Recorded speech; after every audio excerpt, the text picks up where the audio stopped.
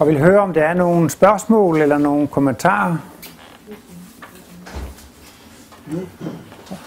Og så har jeg jo altid den standardbemærkning. Det var jo dejligt at se, at det var så godt forklaret, at uh, der ikke var noget at spørge om.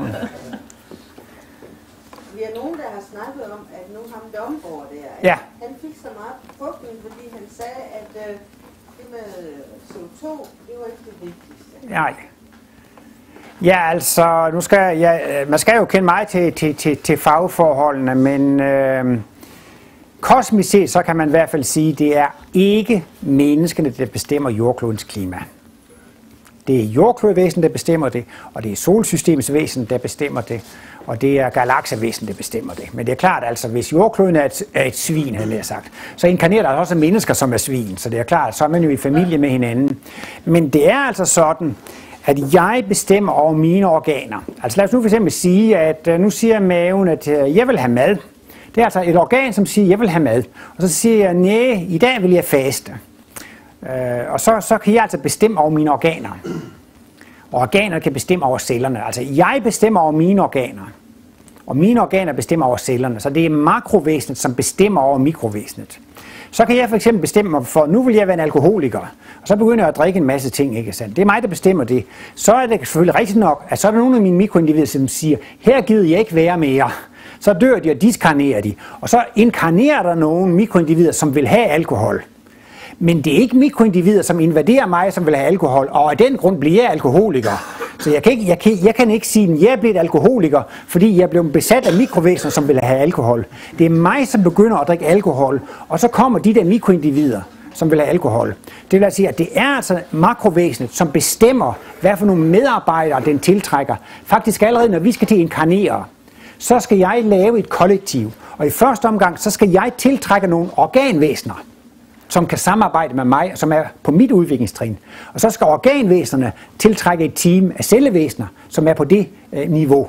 Så, så det er ligesom alligevel, altså det er makrovæsen, som sætter dagsordenen for, hvilke der bliver tiltrukket. Men, det, men altså, så er det også det, jeg sagde, ham der Henrik Svensmark, han har altså også virkelig fået tæsk. Fordi han siger, at det er den kosmiske stråling, som er alt afgørende for klimaet. Men det er da klart, som politiker, det er jo alle tider så kunne sige, det er CO2, I skal spare, I må ikke bruge så meget brændsel. Altså det er næsten ligesom man siger til børnene, ikke sandt? Hvis du ikke opfører dig pænt, så kommer den store bussemand. Så, så hvis, I ikke, hvis I ikke sparer pænt på det, der, så kommer, så kommer øh, den globale opvarmning. Det er da muligt, det har en vis effekt.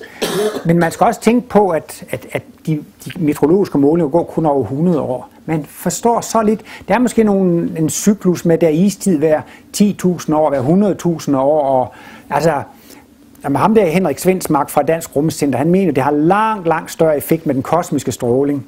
Det bestemmer, hvor mange ioner der er i atmosfæren. Det bestemmer, hvor mange skyer der er. Og det har langt, langt større betydning, hvordan skyerne dannes på kloden, end lidt med CO2. Men han er jo også i den grad fået tæsk og blevet mobbet næsten ud af den offentlige debat, fordi det er meget bekvemt og meget praktisk at kunne sige, og jeg skal ikke gøre reklame for, at det gælder om at dreje, brænde en masse CO2 af, men altså med et kosmisk livssyn, så, så, så øh, så er det altså principielt sådan. Det er makrovæsenet, der sætter dagsordenen. Men normalt så opfatter man ikke jordkloden som et levende væsen overhovedet. Og langt mindre har man nogen opfattelse af, at solsystemet er et levende væsen, eller at galaksen er et levende væsen. Men det er da lidt sjovt, altså, at, at ham der, Henrik Svensmark, det, det er jo sådan lidt af en sensation. Det var her i november 2006, han kom med, at mængden af liv på jorden bestemmes af den kosmiske stråling. Og det var jo sådan, sådan lidt, lidt nyt, men det er i hvert fald også det, Martinus har været inde på. Det er også bare lige en parentes. Martinus siger også altså, at magnetiske storme på solen har stor betydning for livet her på jordkloden. Han er ligefrem inde på, at mennesker, som har dårligt hjerte og folk, som er nervøse, kan enten få hjerteanfald eller få hovedpine eller sådan noget, som skyldes, altså når de her øh, ioner og atomer, de, de accelereres op, så kommer der nogle magnetiske storme, som faktisk har indflydelse på livet her på jorden. Så, så det er Martinus i hvert fald meget inde på, altså at, at at selv så fjernt et væsen som solen har stor, som levende væsen har, har betydning for, hvordan det er her, og jordkloden har også.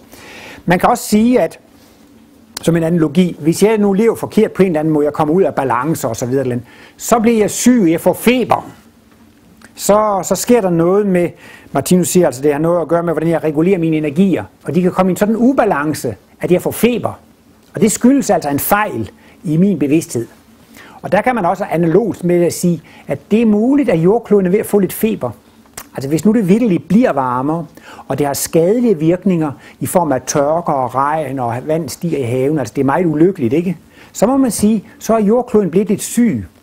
Men det er jordklodvæsenet selv, som i første omgang er ansvarlig for den sygdom. Hvis nu der er nogle celler, og sådan noget, der inkarnerer rigtig hurtigt, så kan man også sige, at hvis jeg bliver syg, jamen så inkarnerer der nogle celler, som svarer til den sygdom.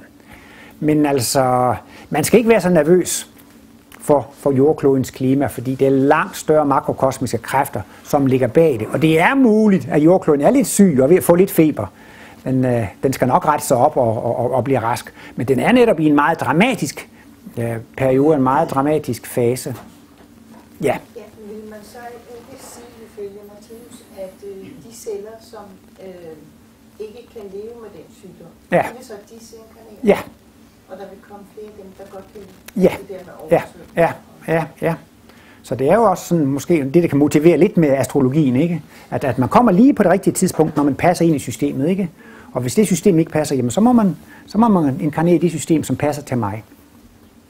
Men man kan godt, man kan godt være på den samme planet flere liv i træk, men altså det er principielt ikke noget, det, men, øh, men, men det her med, med, med det, det kan komme på tale, at de mest primitive på et tidspunkt ikke kan følge med her. Hvis der er nogen, der er jo også mange indianere i regnskoven, som er blevet udryddet mere eller mindre. Men de står måske over for at have brug for måske fem eller ti inkarnationer mere i naturtilstand.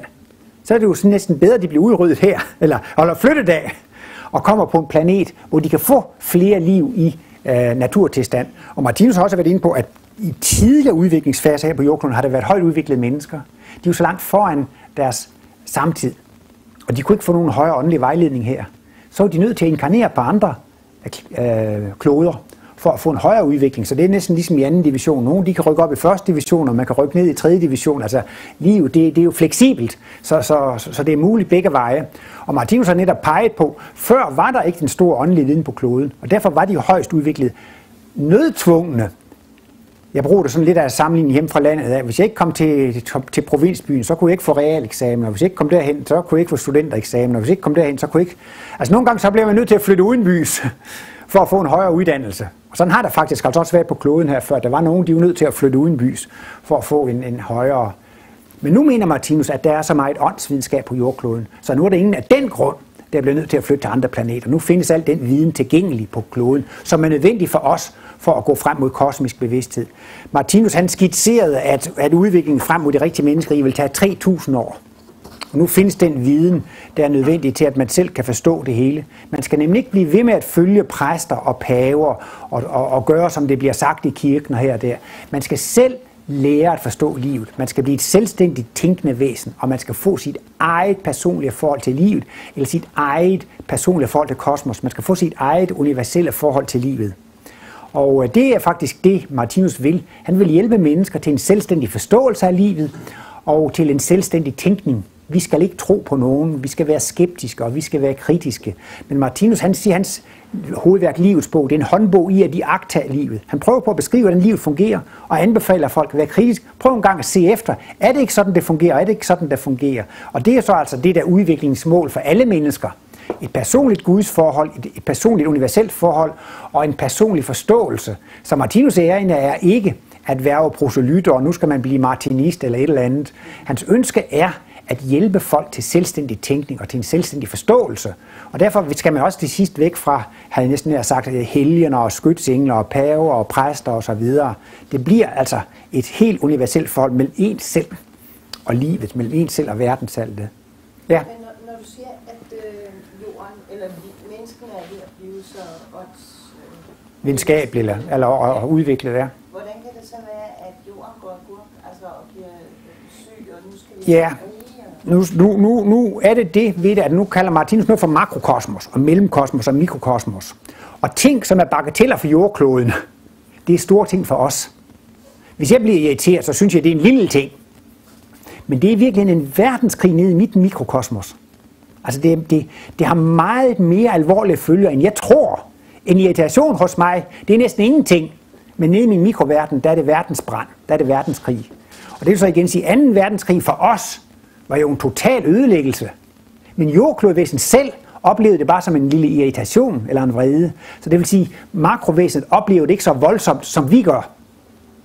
Altså for jordkloden, det der sker i dag, det, det, det, det, det er ikke så dramatisk for den i, i dets makrokosmiske perspektiv, som det er for os hernede.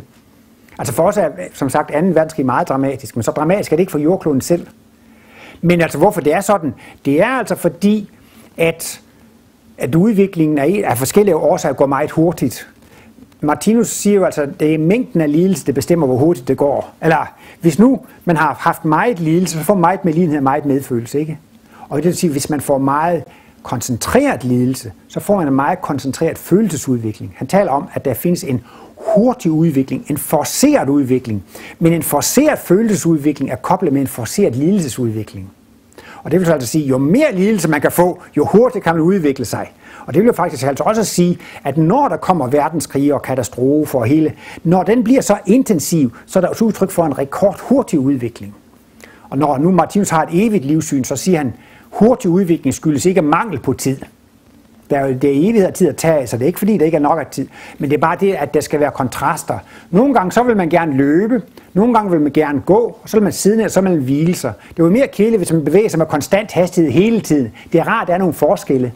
Det er skønt at arbejde, og det er skønt at hvile. Det er dejligt at have ferie, men det er også dejligt at være aktivitet. Så aktivitet og hvile, det er dejligt at have kontrasterne, som Martinus siger egentlig, den eneste grund til, at der findes forceret udvikling eller hurtig udvikling, det er, at hvis det ikke var sådan, så vil livet bare være fattigere. Så vil den kontrast ikke findes.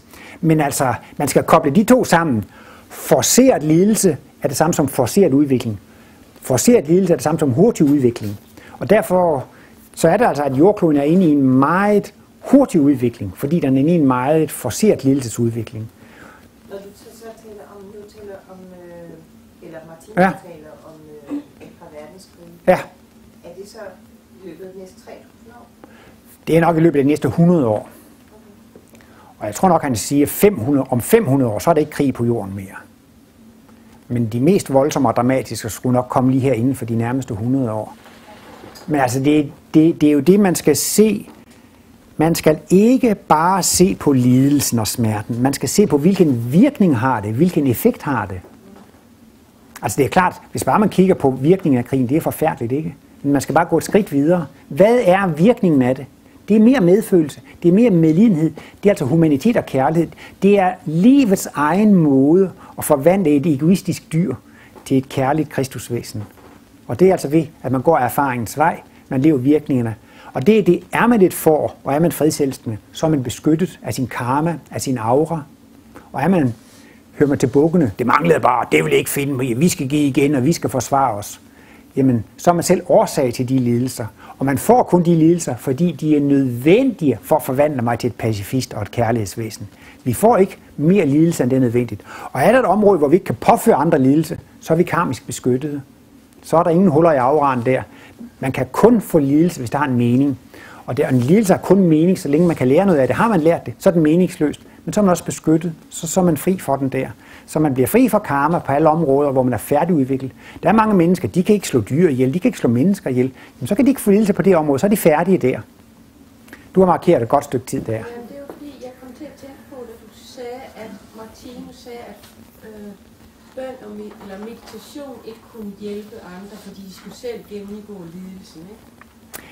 Og så tænker jeg på, at når vi som skole tager, ud- tager ud og mediterer, Ja. så har jeg opfattelse af, at det er ikke fordi, vi skal tage lidelsen fra de mennesker, men vi skal, men ved at sæ- sætte lys til sted, så får de mulighed for at løfte sig. Ja, men jeg vil godt lige prøve så at gentage det, jeg siger. Jamen, det kan være, at jeg misforstået det. Ja, sådan delvis. Ja, Altså, Martinus anbefaler i den grad forbøn.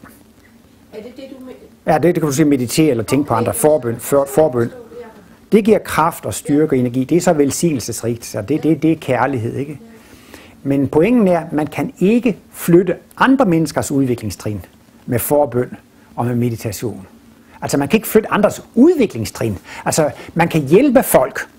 De kan få kraft og styrke og energi til at løse deres problemer. Men man kan ikke løse andre menneskers problemer, og man kan heller ikke løfte deres udviklingstrin. Det er også tit, forældre vil også gerne løfte deres børns udviklingstrin, men nogle gange så er børnene nødt til at gøre, gøre de dumheder. Så jeg vil bare, bare du vil skelne mellem det, at man kan grundlæggende ikke give andre mennesker et højere udviklingstrin eller nogle erfaringer, men man kan give dem kraft og styrke og energi til at stå situationen ud og til at gå igennem de smerter og lidelser. Så, så, så det er jo meget, meget, meget værdifuldt, og det er måske også meget værdifuldt for ens egen udvikling, at man beder for andre. Det stimulerer ens egen kærlighedsudvikling, og det stimulerer ens koncentrationsevne, som også er nødvendig for at, at blive geni på alle mulige områder. Det er også en god ting at kunne koncentrere sig. Og det hjælper også til at koncentrere sig, når, når man beder for andre. Så forbøn, det er absolut noget, det kan anbefales. Men du kan ikke lave en abe om til et menneske. Nej, men eller en... Hvad? menneske til selv at løfte sig. Ja, det kan man. Ja, ja. Man, og på den måde, jo, jo. så hjælper man alligevel til, at de kan udvikle sig. Man hjælper dem til at gå vejen. Ja. Men de skal selv gå vejen. Man ja. kan ikke gå vejen for andre. Men, men man kan give dem hjælp til at gå vejen. Ja.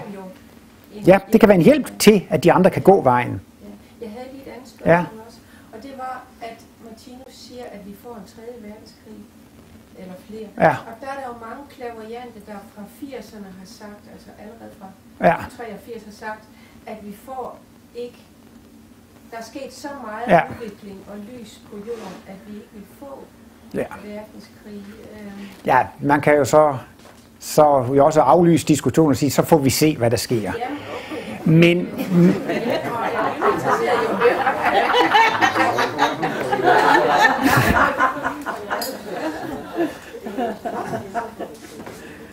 Men øh, altså, det, altså så når, man kan selvfølgelig sige, at hvis noget drejer sig om profeti, altså, jamen det, det kan man ikke rigtig forholde sig til. Måske er profetien rigtig, måske er den ikke rigtig.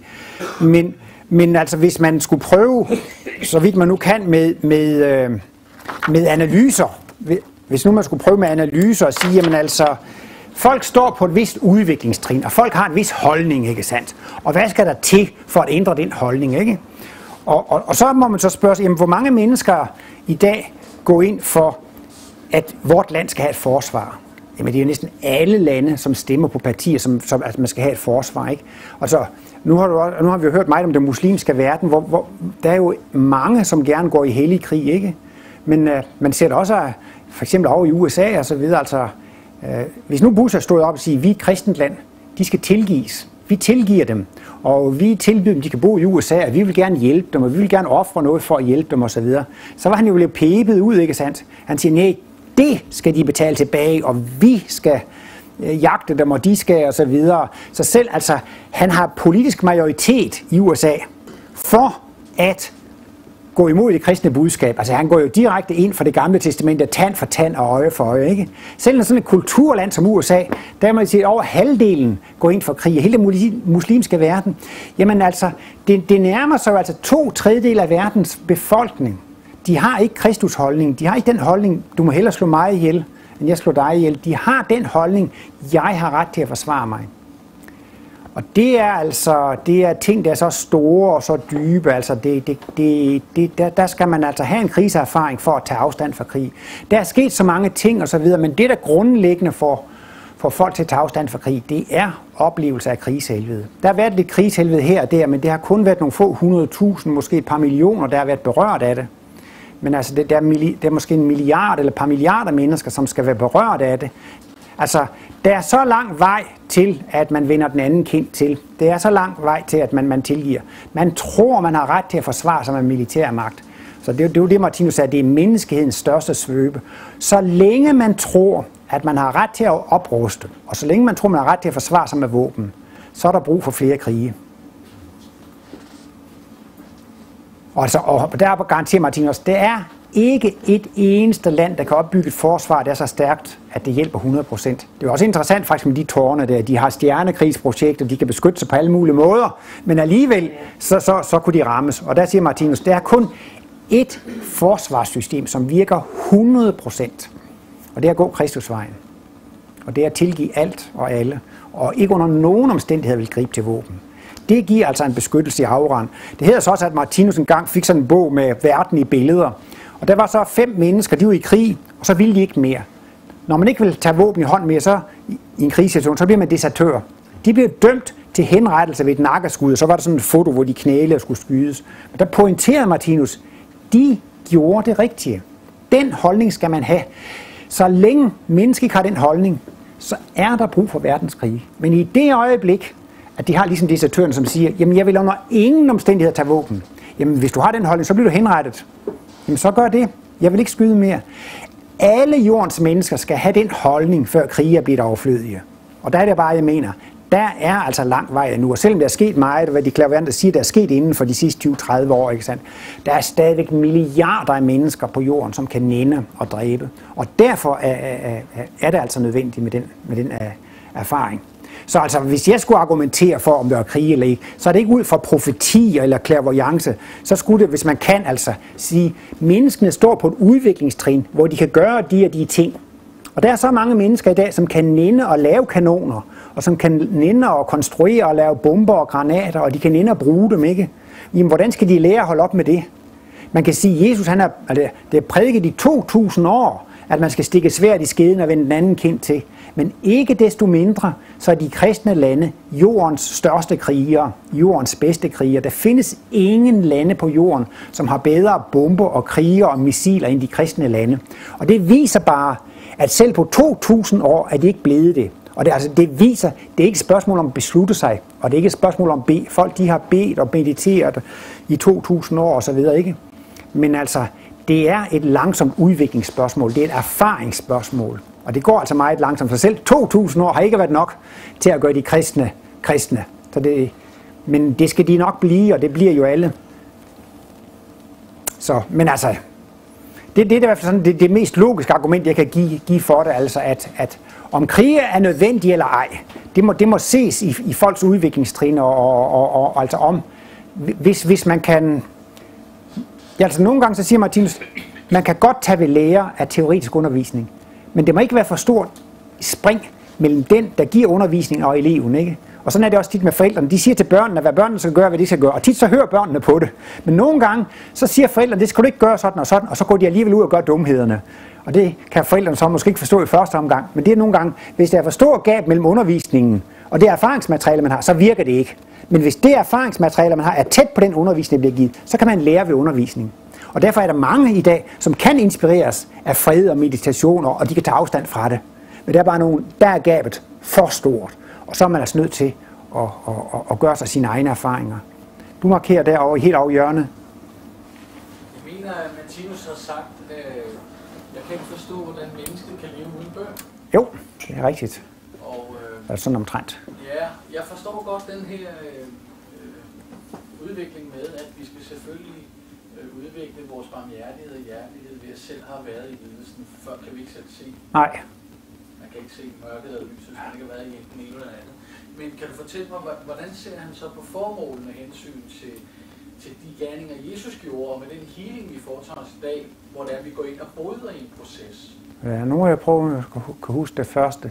Jo, Martinus han har sagt, han kunne næsten ikke forstå, hvordan mennesker turde leve uden bøn. Og han brugte det der, det er jo tit, øh, han bruger det udtryk, at dårer vandrer trygt, der hvor engle ikke tør træde. Dårer vandrer trygt, der hvor engle ikke tør træde. Og han siger, at den fysiske verden er jo meget farlig. Altså, i zoologisk have, så er rovdyrene afspærret fra plantederne, så der er der lidt orden i det. Men her på jorden, her går altså alle mulige mennesker rundt mellem hinanden. Altså det er virkelig meget farligt at gå rundt her, ikke? Jeg tænkte også nogle gange, så går jeg på strøget i København, og så læser man næste dag i avisen, at der er nogen, der er hugget ned med en, med en økse eller en kniv. Eller altså, her på kloden, altså alle mulige bevidsthedslag, de er blandet sammen, så det er virkelig meget farligt at gå her. Og Martinus siger også, at han levede sådan, altså næsten i, i, i konstant bøn, ikke sandt? Altså, Øh, men, men man kan sige, at øh, med hensyn til at beskytte sig selv og det med bøn, så siger Martinus, man må beskytte sig selv, så langt det går. Så kan man låse sin dør, og man kan tegne en forsikring, og man kan lukke vinduer og sådan og sådan. Men på et eller andet tidspunkt, så kan man ikke gøre mere andet end at bede om beskyttelse hos forsyn. Men han synes jo altid, at man selv skulle gøre det første skridt, ikke sandt? Altså, hvis man er bange for at blive skudt, jamen, så behøver man jo ikke at gå ud i de, de områder, hvor der er krig. Og, altså, man, man, man skal prøve at opføre sig så, så fornuftigt, man kan, og beskytte sig selv, så langt det går. Og så det sidste stykke, der, der skulle man altså bede uh, forsynet om, uh, om, uh, om, beskyttelse. Jamen det sidste spørgsmål, det var måske lidt svært, men, men det det hele jo drejer sig om i livet, det er livsoplevelse. Og det er, det er, det er ens relation til andet liv, ikke sandt?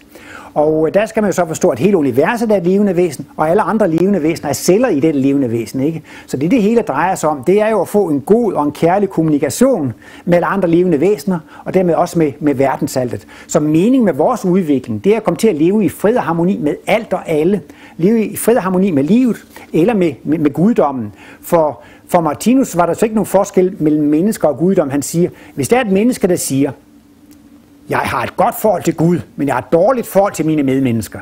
Så siger Martinus, det passer ikke, fordi i hans Guds definition, så er alle levende mennesker celler i guddommen. Alle mennesker er en del af guddommen. Man kan heller ikke omvendt sige, at jeg har et vældig godt forhold til alle mine medmennesker, men jeg har et dårligt forhold til Gud. Den købte han heller ikke. Fordi har man et vældig godt forhold til alle sine medmennesker, så har man altså også et, et, et godt forhold til, til, til guddommen. Ikke? Og der gør han jo så gældende, at man kan kommunikere med guddommen eller liv på to niveauer. Og det ene, det er det telepatiske niveau. Det er det med forbøn og, og altså, altså mere psykisk eller telepatisk kan man tale med guddommen. Men man kan også tale med guddommen meget praktisk på det fysiske område. Han taler om, at vi er alle sammen genstand for livets direkte tale. Livet taler til os af psykisk eller telepatisk vej, men livet taler også til os rent fysisk. Så det andre mennesker gør mod mig, det gør guddommen mod mig. Og det jeg gør mod andre mennesker, det gør jeg også mod guddommen. Så, så, så derfor har Martinus også bønden med i det hele, fordi at øh, på den måde, så bliver livet, nej, meningen med livet, det bliver at opleve livet, men mening med livet, det bliver simpelthen bare samtale med livet. Altså Martinus siger faktisk, at meditation eller bønden på sit aller, aller, aller højeste niveau, det er faktisk bare det, at man bliver ven med livet, og at man samtaler med livet, eller man samtaler med guddommen. Ikke? Altså, og så skal man jo altså, for at forstå et andet væsen, skal man jo blive meget fortrolig med dette væsen. Og derfor, for hvordan, hvordan bliver man fortrolig med Gud? Jamen, så skal man jo vende sig til at se Gud i alting, og man skal måske have mange liv, hvor man gradvist optræner sig til at se Gud i alle, i alle planter, i alle dyr, i alle mennesker. Det, det er også en udviklingsproces at vende sig til at se Gud i alt liv, ikke sandt? Og det er også en udviklingsproces at vende sig med at sige, der er fjender, der er uvenner. Det er Gud alt sammen. Det er livet alt sammen. Og det er også en vældig proces. Fordi indtil nu, så har mennesket delt det venner og fjender. Dem, der er for mig, og dem, der er imod mig. Og det er jo det, man kan sige, klassisk set, så har mennesket et dualistisk syn med Gud og djævlen, der er ondt og godt. Og det er jo en vældig proces at lære at forstå, at det onde er i virkeligheden godt. At det er, det er Guds undervisning og opdragelse i mørket. Og det er jo noget, der tager lang tid at ændre. Vi har, altså, vi har i tusindvis af liv delt venner og fjender og Gud og djævel. Altså vi har tænkt sort-hvidt. Og vi skal til sidst lære at tænke helt hvidt og se alt er udtryk for en universel kærlighed. Alt er udtryk for Guds kærlighed. Det er en vældig lang proces. Og der kan man så i det små gøre. Der var en, han skældte mod, han ubehagelig over for mig.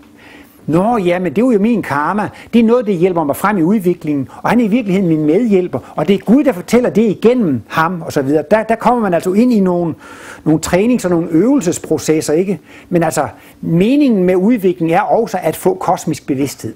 Altså at blive indvidet og få kosmisk bevidsthed. Men at få kosmisk bevidsthed, det vil også sige at få Guds bevidsthed. Blive indvidet i Guds bevidsthed. Blive et med Gud. Og derfor kan man også godt forstå, at Martinus siger, jeg, kan ikke, jeg forstår ikke, at mennesker tør være til uden bøn, fordi for Martinus betyder bøn samtale med Gud, kommunikation med, med, med guddommen, ikke sandt? Så det er jo, og man kan jo sige, at at der sker jo ikke stor spring i udviklingen, men, men i og med, at man går mere ind i de her åndelige tanker og ser Gud i det hele og udvikler sig, så, så, så, så får man også på et teoretisk plan efterhånden en teoretisk kosmisk bevidsthed, en teoretisk gudsbevidsthed. Og så bliver den der åbnet for det. Og så får man den helt store bevidsthedsudvidelse og bliver kosmisk bevidst. Men det er noget, man gradvist har trænet sig op til at se, se liv på den måde. Som, som målet med livet her i den fysiske verden, det er jo at blive bevidst i Guds bevidsthed. Vil det så sige, at mennesker, der bliver helbredt for blindhed eller døvhed under healing eller under bøn, at det er mennesker, der øh, rent udviklingsmæssigt er nået til det stadie, hvor de kan modtage det? Fordi... Ja, det kan både være ja og nej. Øh, altså man skal hjælpe mennesker på alle de punkter, man kan, og man skal hjælpe sin næste osv. Og øh, Martinus mener, at alt sygdom skyldes fejltænkning i den sidste ende. Alt sygdom skyldes mangel på kærlighed, og det skyldes fejltænkning. Ikke? Og så er man så blevet syg, og så skal man da bare gå til læge og til sygehus og, og gå til healer, og så bliver man rask. Men så er sagen bare den, hvis man fortsætter med at gøre den ting, som har fremkaldt sygdommen, så har man bare fået udsættelse. Men hvis man holder op med at gøre den fejl, som har fremkaldt sygdommen, så er det jo en permanent helbredelse. Men uanset om den er permanent eller ikke permanent, man skal da hjælpe mennesker overalt. Ellers kan man sige, åh ja, men lidelse, det er jo det, der bringer os frem i udviklingen, så lad bare ham lide lidt mere, så kommer han hurtigere frem i udviklingen. Altså, man skal hjælpe sig selv og hjælpe andre alle de steder, hvor, hvor, hvor, hvor man kan. Og så må man lade det op, være op til livet. Altså, kan man, kan man med mirakuløs helbrede et andet menneske, så skal man da bare gøre det. Og så vil det så vise sig, hvis det menneske så har lært noget af det og holder op med det, så er det da guddommeligt. Og, og hvis, det, hvis det fortsætter med at gøre den fejl, som har fremkaldt sygdommen, så vil det jo formentlig få tilbagefald, ikke? Og så vil det så lære, at, at, at, at det har gjort lidt, lidt en, en fejl. Ja. Du var så energisk før med et spørgsmål. Ja. Inden for buddhismen, Ja. øh, der er en meget vigtig bøn. Den går jo ud på at øh, bede om, at alle følende væsener må blive befriet deres lidelser Ja. øh, og blive lykkelige. Ja. Så det vil måske i virkeligheden, altså inden for... Jo, det er jo det er da rigtigt nok. Det er da rigtigt nok. Altså, det er jo det samme. Det er jo da det samme som at, at gå i forbøn og ønske alt godt for andre, ikke? Og det er godt for de andre. Altså, Martinus taler jo meget om tankens magt, og han taler om sort og hvid magi. Og det er klart, at ønsker man andre godt og gå i forbøn for dem og ønsker dem, det er, det er hvid magi.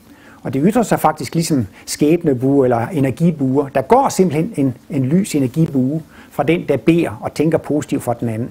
Og jeg tror også, det er godt for en selv at beskæftige sig med lys og kærlige ting, så det stimulerer faktisk ens egen koncentrationsevne og ens egen udvikling, og det er hvid magi. Og omvendt, hvis man har fjender og sur og vred på andre mennesker, så er det faktisk en sort magi. Og der udsender man altså også en negativ energi på andre. Men Martinus siger så i øvrigt, at altså hvis man er meget vred på andre, så ødelægger man sig selv, inden man ødelægger sin fjende. Fordi altså, så får jeg de her vrede tanker, og de skal igennem mit egen psyke, og de skal gå igennem min egen krop. Og, og, og det virker ødelæggende på min egen sundhed at blive vred. Og derefter virker det også ødelæggende på den anden. Men det er så erfaringer, man, man er nødt til at, at, at have med. Så det er også en meget... Tanker virker ind på samme måde, sådan set, uanset om de er hvide eller sorte. Altså Martinus siger, på en måde er det ikke forskel på hvid og sort magi. Det er simpelthen bare det, det man tænker, det virker. Det virker på andre.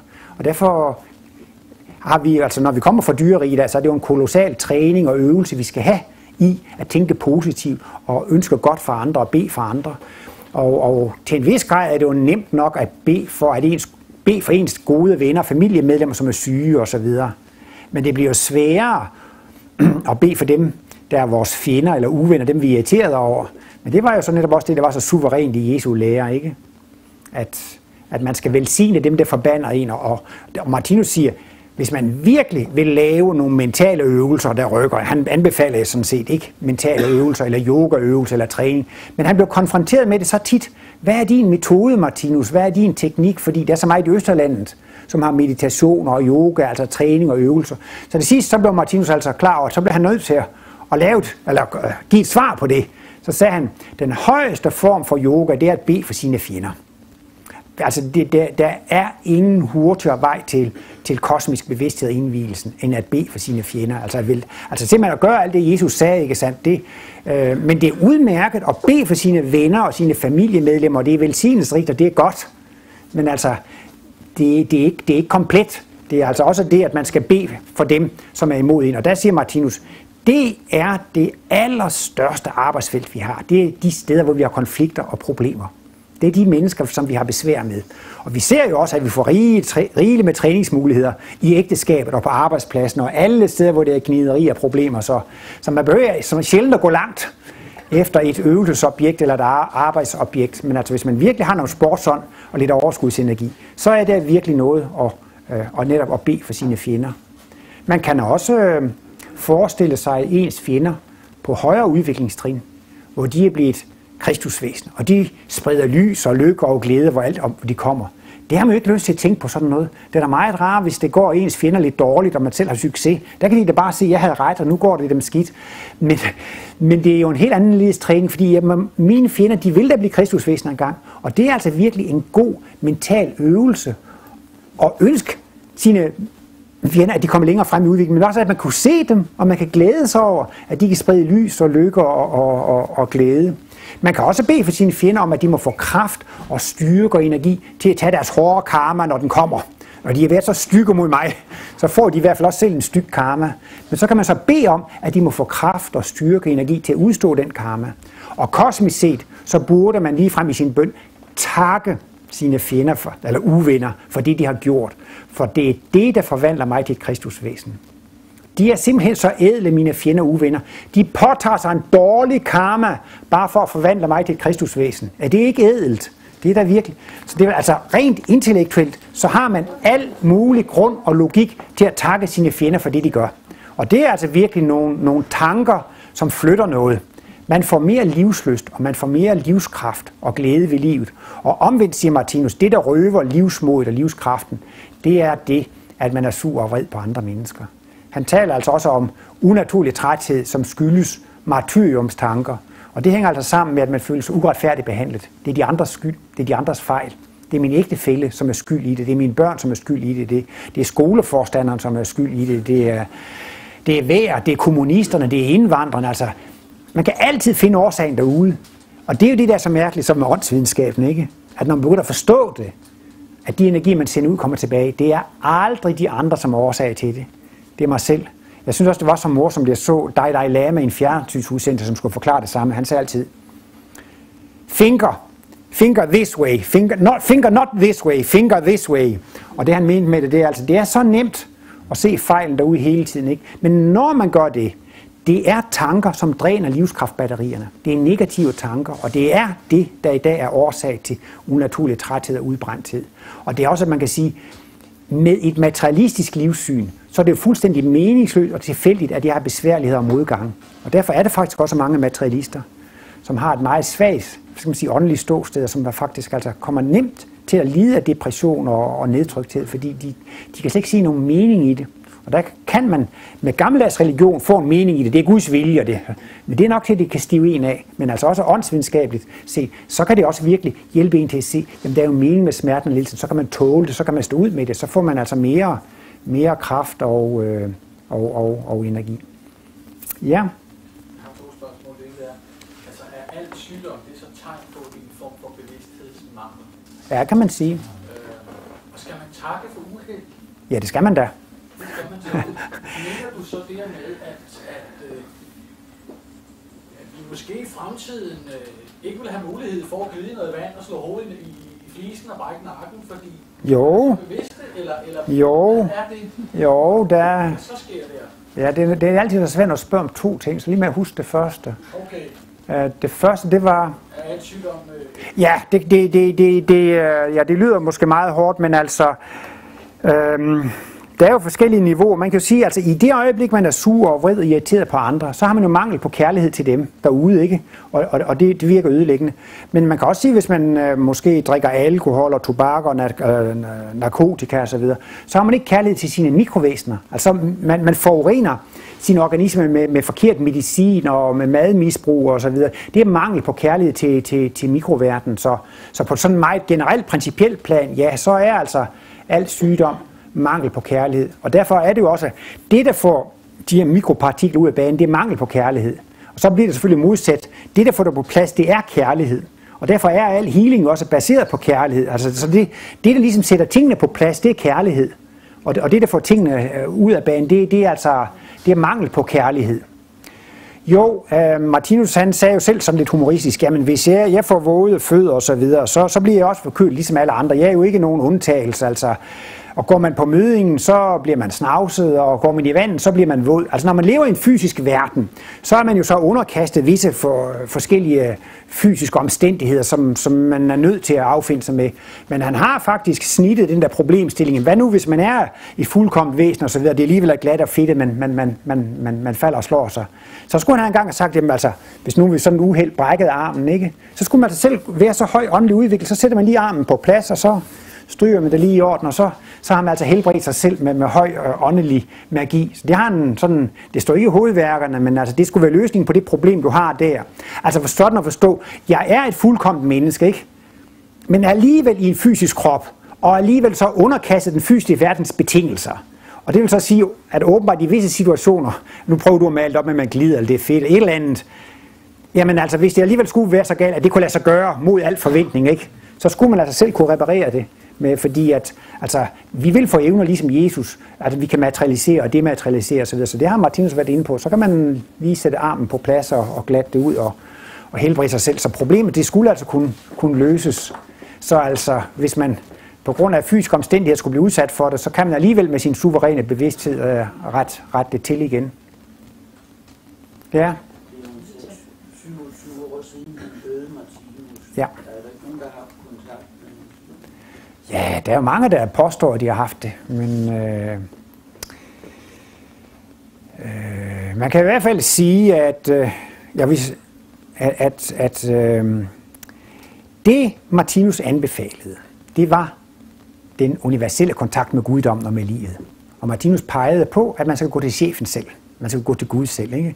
Så er det klart, at der findes rent jo faktisk skytsengler skytsengler. Der findes også inde for det katolske helgen og alt sådan noget. Men Martinus, han, han blev altid ved med at sige, at det er bedst at henvende sig til guddommen. Så skal guddommen nok svare. Også selvom det er skytsengler sådan noget. Så Martinus, han har hele tiden understreget, I skal ikke dyrke min person, og min person er underordnet alt, hvad jeg har givet jer, det har jeg fået af Gud, og jeg er ikke med i udviklingen, at alle skal blive efter mig, alle har været før mig, og, og netop fordi, at han gjorde gældende, at det, han havde lavet, var en åndsvidenskab, så er det det, han har skrevet, der, der var det væsentligste. Han har dog skrevet, hvordan han er blevet indvidet, og hvordan han er kommet på det, men det er egentlig heller ikke det væsentlige. Han siger, at det væsentlige er, at folk er interesseret i at have en kritisk holdning at prøve, om det er skrevet eller, eller ikke har skrevet. Man kan i hvert fald sige, at Martinus vil gå imod sin egen lære ved at vise sig bagefter.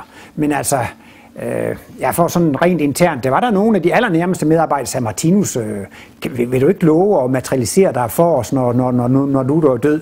Ej, grinede Martinus, I blev bare forskrækket. Nej, det ville han ikke, hvis, hvis, hvis han gjorde det. Der kom også øh, nogen fra øh, um, pålidelig klærvian, som sagde, ja, altså de havde en besked fra Martinus. Han havde fortrudt, at han havde kaldt sit værk det tredje testamente. Så nu skulle bestyrelsen af Martinus Institut lave den beslutning om, fordi det havde de fået fra øh, uh, klærviant kilde. Og det er jo klart, at i sådan nogle, sådan nogle stillinger, så, så, så, så, så, så, så kan man ikke forholde sig til sådan noget, så man siger, men det kan man jo ikke se noget bevis for. Så, så det, det, det, det, det vil man helt afvise. Altså Martinus, han, han ønskede, at han sag, hans institut skulle køres videre på den måde, at de mennesker, der sad i bestyrelsen, de var helt suveræne til at beslutte, og han mente, de skulle nok træffe de beslutninger, som livet ville have, der skulle, skulle, skulle, skulle træffes. Øh, så, så mig bekendt, så, så, så har han altså ikke vist eller men derfor er der alligevel nogen, der siger det. Der kom også engang en kunstner til Martinus Center Klint og sagde, jeg har, jeg, har, jeg har en besked fra Martinus af, og han har sagt, at mine billeder skal hænge i det nye hus. Og så har vi så lige fået det i det nye. Og, jo, så, og så fik man så dikteret noget af det, han har sagt. Men for mig at høre i mine ører, så var det meget gammeltestamentligt. I skal, skal have respekt for eders forældre og sådan noget. Det var sådan, det var sådan en rigtig gammel religiøs talsing, sådan her, der aldrig hørt Martinus øh, udtryk. som. men så sagde vi bare til hende, det lyder meget pænt det der, men, øh, men du kan jo godt forstå, at vi vil gerne have et bevis. Jamen det skal nok komme, vi skal nok få et bevis, ikke sandt? Men altså, Øh, så kan man jo også sige, at så, så kunne hele Martinus-sagen nu blive kørt og besluttet af ting, som kom fra mere eller mindre pålidelige kilder. Altså, hvordan kan man vide, hvornår det er pålideligt og, og, og, og, og, ikke pålideligt? Fordi Martinus mener, at øh, man kan få højpsykisk viden fra den åndelige verden, men han mener også godt, at man kan komme i kontakt med nye afdøde sjæle. Det vil sige folk, som kan lyve og narre og bedrage lige før de dør. Det kan de altså også gøre lige når de er døde. Og folk, som kan lide af storhedsvanvid og gerne vil prale og sådan noget før de dør, det kan de også gøre, når de er døde. Og, og nogle gange kan man altså godt blive vildledt, hvis man kommer i kontakt med nogle af de væsener, som Martinus siger, der er i mellemtilstand, altså nyafdøde. Og specielt hvis disse nyafdøde mennesker er meget materielle, meget materialistiske, så søger de sig tilbage til det fysiske plan. Og I har sikkert også set det her med åndernes magt og mange af de der fjernsynsudsendelser. Og, og der er altså mange eksempler på, at det er nyafdøde, som Martinus understreger i den grad det er ikke sandt bare fordi det kommer fra den åndelige verden. Altså der kan komme meget materiale fra, fra de lavere astrale planer, fra nye, nye afdøde, så, så man skal ikke nødvendigvis øh, tro på det. Men derfor kan det godt være mange, mange, øh, mange mennesker, de siger, jeg har drømt om Martinus, eller de har tænkt på Martinus, eller de er født, de har mødt ham i tankerne osv. Og det vil, jeg da, det vil jeg da ikke udelukke. Det må da også være mange mennesker, der har mødt Kristus. De har talt med Kristus og været meget indstillet på mig. De, har mødt ham personligt. Men, men man kan, du spurgte der nogen, altså inden for Martinus-sagen eller inden for instituttet og undervisning, der kan man ikke forholde sig til, hvad andre har oplevet. Men hvis nogen selv føler, de har oplevet, så er det jo en stor værdi for dem og, og en stor velsignelse for dem. Men sådan, hvad skal man sige, sådan officielt og udadtil, så kan man jo ikke øh, forholde sig til, men jeg har da hørt flere medarbejdere, som synes, at, at der fik de en inspiration. Det må være Martinus, som har givet mig den inspiration, eller de har drømt om ham, eller, eller, eller sådan. Men øh, det Martinus stræber efter, det er, at når man har den rigtige moral og den rigtige indstilling og det rigtige gudsforhold, så vil man få de rigtige svar intuitivt. og så får man dem direkte ind i sin egen bevidsthed, uden det behøver at være mellemmænd, som Martinus har jo aldrig anbefalet i og for sig, at man skulle gå, om man så må sige, efter mellemmanden, og i og for sig heller ikke, altså, at man skulle bede til Jesus. Det, han siger, han kan lige så godt bede, bede til Gud, og man skal ikke bede til Martinus, man, man kan lige så godt bede, bede, bede, bede til Gud. Ja. Det er jo 27 år siden, jeg skal nok... Nej, nej, kom på. 27 år siden han døde. Ja. Og du siger, at har forudsagt noget med verdenskrig og sådan noget. Ja. Men der, altså, når det er så længe siden han døde, mennesket har jo også en fri vilje. Jo. Det må jo også have spillet ind i de syv ja. år, der Ja. Men det er så igen, jeg siger, man kan ikke flytte sit udviklingstrin med vilje. Så siger jeg, Ole, nu vil jeg være en engel.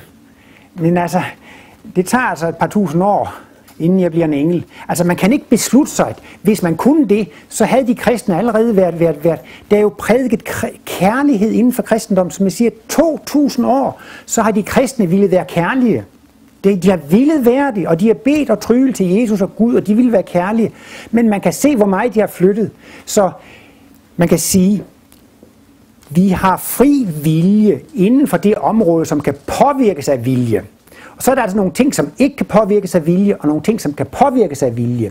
For eksempel, så kan man ikke ændre, man, du kan ikke ændre tyngdeloven. Du kan ikke ændre, at vi er evige væsener. Det kan man ikke ændre med viljen. Man kan ikke, øh, det, hvis jeg må bruge et eksempel, man kan ikke, hvis man spiller skak, man kan ikke ændre på skakreglerne, men man kan bestemme, hvilke træk man vil gøre inden for reglerne. Sådan har livet nogle naturlove, dem kan man ikke forandre på. Men når man følger reglerne, så kan man få lov til at spille med i livet, ikke sandt? Og nogle af de grundlæggende ting i livets love, det er, at man kan kun udvikle sig ved at gøre erfaringer. Man kommer kun frem af ved at gøre erfaringer og oplevelser. Og det vil sige, at man kan ikke med bestemme, nu vil jeg springe to liv over og, og, og være en engel. Og derfor er det altså, at man kan ikke beslutte sig for at have flere erfaringer i dag, end jeg rent faktisk har. Man kan ikke med en beslutning sige, nu vil jeg lige pludselig have to livs erfaringer. I morgen, når jeg vågner op, så vil jeg have to livs erfaringer, siden jeg kun har sovet her om natten. Så ja, vi har fri vilje, som sagt inden for de områder, som er påvirkbare af vilje, men der findes bare nogle områder, de kan ikke påvirkes af vilje. Det, at jeg eksisterer, jeg kan ikke sige, at jeg vil ikke eksistere. Nå, Vita, vi skal lige høre dig. Jamen, øh, nu kom du jo ind på en hel masse, ja. som jeg altså, godt kunne tænke mig at kommentere, fordi jeg er i hvert fald slet ikke enig. Ja. Det er helt sikkert. Altså, selvfølgelig kan vi påvirke, og selvfølgelig har vi en vilje, og selvfølgelig har vi en kærlighed, og selvfølgelig har vi en udvikling, som vi selv kan påvirke. Altså, det er, altså, den, den går altså ikke med til. Altså ligegyldigt hvad du så end siger. Det kan vi. Det er helt sikkert, at vi kan. Øh, altså, og de brækker i skakspillet, ikke? der er også, også nogen, der meget hurtigt kan gå igennem, og andre, der simpelthen skal sidde meget lang tid for at finde ud af de der brækker. Så det tror jeg er fuldstændig individuelt. Du må da ikke lave om på skakreglerne.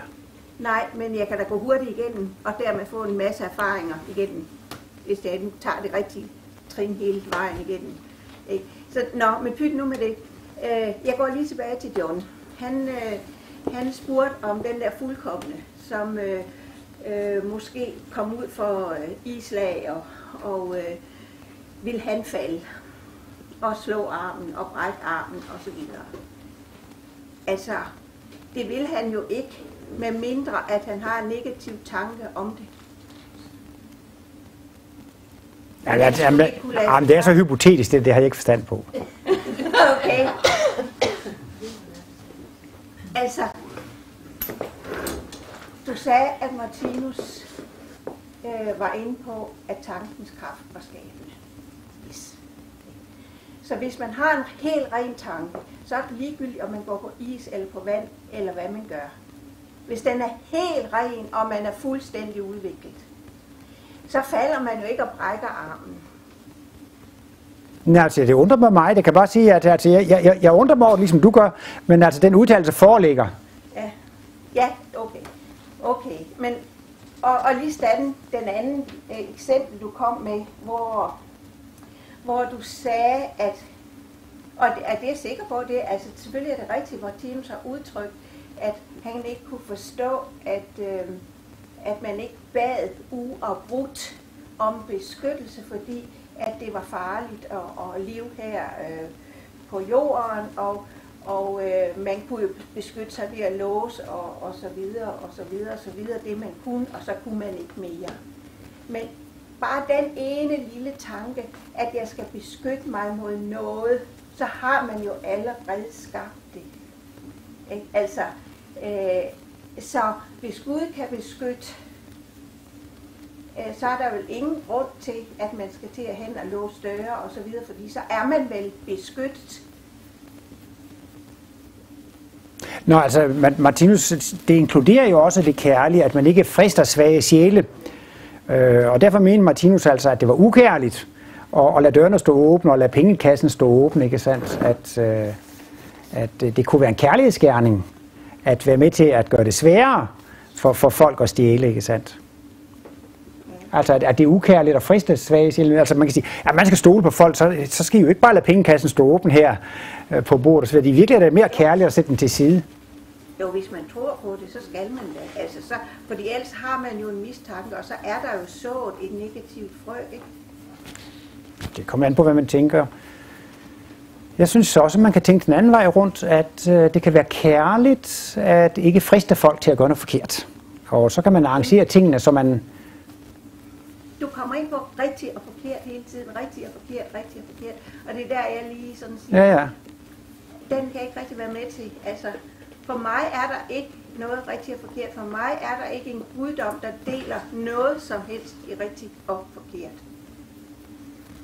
Nej, altså der findes jo to niveauer. Martinus siger at alt er så godt, og så er alt jo rigtigt. Men, men, men, men, men man kan sige på et andet niveau, enten så handler man med kærlighedsloven, eller så handler man imod kærlighedsloven. Og man må da gerne handle imod kærlighedsloven, altså det er ok, men altså på et niveau kan man sige, man gør det rigtige, når man handler med kærlighedsloven, og man gør noget forkert, når man handler imod kærlighedsloven. Men så er det bare det, at det forkerte er alligevel inkluderet i Guds plan, og det er så godt, at vi kan få lov til at gøre det. Så altså, det kommer an på, hvordan man definerer tingene. Altså, ud fra én synsvinkel, så er alt så godt. Men nu fra en anden synsvinkel, så når man gør det rigtige, altså at gavn, glæde og velsignelse for levende væsener, så handler man efter livsloven.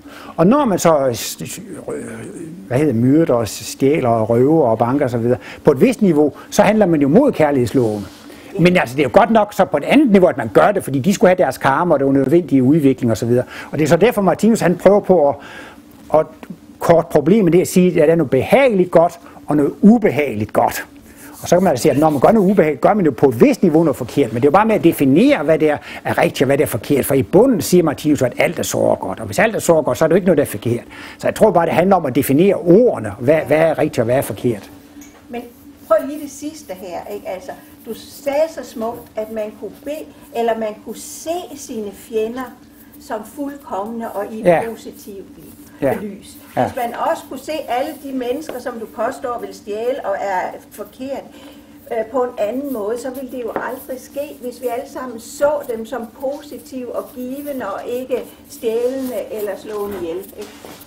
Ja, altså jeg kan godt se din pointe i det, men hvis nu for eksempel man har et samfund, og man kan se, at folk er på en udviklingsskala, og dem, der er længst nede, for dem er det naturligt at stjæle. Det kan være nogle mennesker, de er altså på et trin i naturen, hvor man simpelthen bare stjæler, hvis man har lyst til det, ikke sandt? Så kan man have en negativ og en positiv forventning til deres, men det forandrer ikke deres udviklingstrin. Jo, hvis man alle sammen... Jamen okay, så er det det samme som med meditationen. Ja, At, hvis, man, hvis man alle sammen så på det menneske, øh, og så det på en anden måde, så ville man hjælpe det menneske meget hurtigere, end man ville låse sin dør. Jo, men det er så igen det samme problem, som vi har været inde på hele aftenen, hvor jeg prøver på at skelne imellem, man kan gå i forbøn for andre, men man kan ikke flytte deres udviklingstrin. Og det vil så også igen sige, at man kan have de bedste og de fineste tanker, og det er lige så godt som at gå i forbøn. Men grundlæggende, så kan man ikke ændre en abes udviklingstrin, en løves udviklingstrin, et, et primitivt naturmenneskes udviklingstrin. Og for dem, der findes vidderlige mennesker, de er på et trin, hvor det er naturligt at stjæle. Altså, og det kan man ikke flytte, selvom man har de mest, selvom der er nok så mange højt udviklede mennesker, de har de positive forventninger til dem. De er på det trin. Og så er det altså sådan, at hvis vi skal have et velfungerende verdenssamfund, hvor vi alle sammen skal leve sammen osv., så, så, så bliver det altså faktisk det, at så bliver man nødt til at, at beskytte sig og lukke tingene for, at, at, at de der lidt mere primitive ikke skal ødelægge det for, for hele selskabet. Men jeg tror altså, det er meget små nuancer, men altså det, det, det handler ikke om, hvor meget eller hvor lidt eller hvor hurtigt man kan flytte folk, ikke sandt? Og hvor meget kan man flytte andre, hvor meget skal man selv gå vejen. Jeg vil godt lige sige noget Ja. for at sammenføje det, Vita siger, det du siger. Er det ikke bare lige omvendt? Sådan, at vi har magten over mikrokosmos i os, over vores celler, som kosmos har magten over os. At vi har den her frie vilje til at skabe det liv, vi nu engang ønsker. Og når det er, at vi ikke skaber det liv, som er i overensstemmelse med, med makrokosmos, med Gud selv, når det er, at vi ikke lever op til de ting, som vores hjerte faktisk byder os, så skaber vi så den karmatilstand, der gør, at vi bliver nødt til at gennemgå det igen, indtil vi får fat i kosmos igen. Så hvis det er, at vi med hjertet og viljen ønsker at, at tage kosmos til os, behøves vi ikke at skal igennem abe til, til løve. Men vi kan gå faktisk lige fra aben helt op til, til, til guddommen. Hvis det er, at vi har den vilje og det, og den, hvad skal vi sige, den kraft, der gør, at vi ønsker det. Men hvis vi selvfølgelig ikke har den i os, så er det klart, så, så vandrer vi. Men, men med viljen og med hjertet kan det jo godt lade sig gøre at løfte sig op. Ellers var bønden jo ligesom lidt unødvendigt. Ja, det vil jeg kommer måske bare til at gentage mig igen, men ellers altså, uh, Martinus mener helt afgjort, jeg skal nok husker dig også, al udvikling er baseret på erfaring og oplevelse. Al udvikling er baseret på træning og øvelse. Og det kan ikke flyttes med mirakler og med bøn og med forbøn. Der er kun én vej i udviklingen, og det er erfaringens og træningens vej. Og derfor bliver man selv nødt til at gå vejen, og man kan ikke bede for andre og løfte andre op osv. Men man kan støtte og hjælpe. Man kan gå i forbøn og sende positive tanker, så de mennesker de får kraft og styrke selv til at gå vejen. Men det er altså, som Martinus ser det, ingenting at gøre. Man skal selv gå vejen hver eneste skridt. Uanset om man har bøn eller vilje eller hvad det er, så, så bliver man nødt til at, at, at gå vejen. Men man kan støtte og hjælpe andre, så de får lidt... Nu er der en, der markeret der et stykke tid. Ja, ja. Ja, det er når jeg har hørt uh, jeres diskussion, det er egentlig, at der kommer til at tænke ved, det er set fra en maskulin synsvinkel og en feminin synsvinkel. For mig der handler lidt om det samme, Okay, ja. men også ikke som set fra en maskulin synsvinkel og fra en feminin synsvinkel. Ja, det kan da godt være. Du har gjort, øh, jeg kan sagtens følge dig i det, du siger, jeg kan også sagtens følge Vita. Og også den, den måde at se, øh, altså hvis du deler op i maskulin og feminin, Ja, ja. men det handler egentlig om, om det samme, synes jeg, et eller andet sted. Jo, jo. Brim? Ja. Øh, jeg vil prøve at lave en analogi til diskussionen, og analogien er den, at man kan jo ikke tvinge en blomsterknop til at springe ud, før den er parat til det. Man kan så give den et godt miljø, man kan sætte den i vase og sådan nogle ting, øh, og så vil man se, hvis man tager en 5, 6, 10 blomsterknop og sætter i en vase, så er der nogen, der vil springe ud, og nogen, der ikke springer ud. Dem, der springer ud, det er fordi, de nu var parate til, at de var nået så vidt i deres øh, vækstproces, at de kunne modtage det gode miljø, man gav dem vand og varme osv., og så kunne de springe ud. Men så var der nogle af blomsterknopperne, de visnede altså alligevel, på trods af, at de fik det samme gode miljø. Og det var fordi, de havde ikke evner og kapacitet i sig til, og var ikke så langt i sin udvikling, i sin blomster, i sin organiske vækstudvikling, at de var parat til at kunne springe ud af blomster. Ja, det kan da måske være et godt kompromis. Det er et godt billede. Ja. Er Ja. rigtig godt Rigtig billede. godt billede, fordi der Og så bliver- nemlig nuancerne i det. At nogen kan, og nogen kan ikke. præcis. Ja, lige præcis. Og det Og det jeg ikke er- behøver at tage 100 og 1000 år. Ikke altså, Nej, men fordi for at det er lagt i en regel. For den regel, den er der altså Men ikke. for nogen gør det jo. Ja. For nogen, der ikke følger Lige livsloven, præcis. gør det, og det synes jeg er vigtigt, fordi så nærmer man sig hinanden. Ja. Det er sædemanden, der gik ud og så. Ja, ja, Vi er jo forskellige Ja. steder. lige præcis. Altså, jeg ved ikke, hvor vi er heller. Men så kan man så sige for Oles eller for Martinos synspunkt, så er det måske fordi, at den blomst, der springer hurtigt ud, øh, dens mikroceller derinde, der er oversat til, at den vokser, den har været der mange gange før, den har været tisler. Ja, ja. Lige præcis. Ja. Ja, men også den er jo så langt i sin vækstproces, så den er parat til at kan modtage miljøet og kan jo springe ud for det. Altså, Ja. øh, Den har gået vejen. Ja, den er Den har til det. Den har, Ja, er så meget. Det er meget, meget. ja men jeg tror også, at vi er ved at være kommet til vej senere, er vi ikke? Ja. Tak for i aften. Ja, tak.